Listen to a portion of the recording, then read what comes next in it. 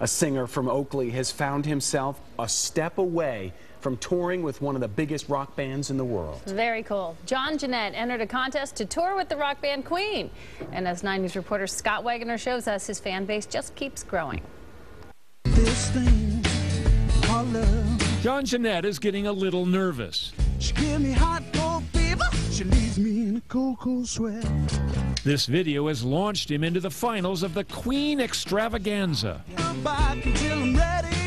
It's a contest to tour with the rock band Queen and perform on stage as their warm-up act. This Oakley rocker knows the competition from the U.S. and Canada is tight. It's a pretty good, pretty talented pool of people. But Jeanette has a secret weapon. I was the only one with a light-up belt.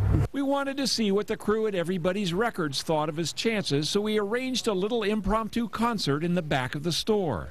Now this thing called love, I just can't handle it. This thing called love, I must get around to it. I ain't ready.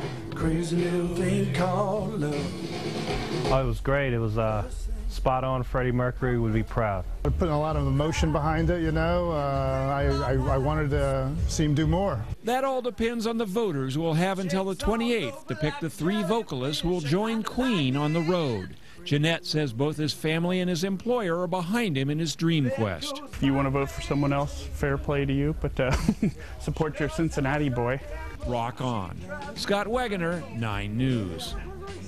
So now you want to cast your vote for John, don't you? Well, you'll find a link at WCPO.com. Very mercurial.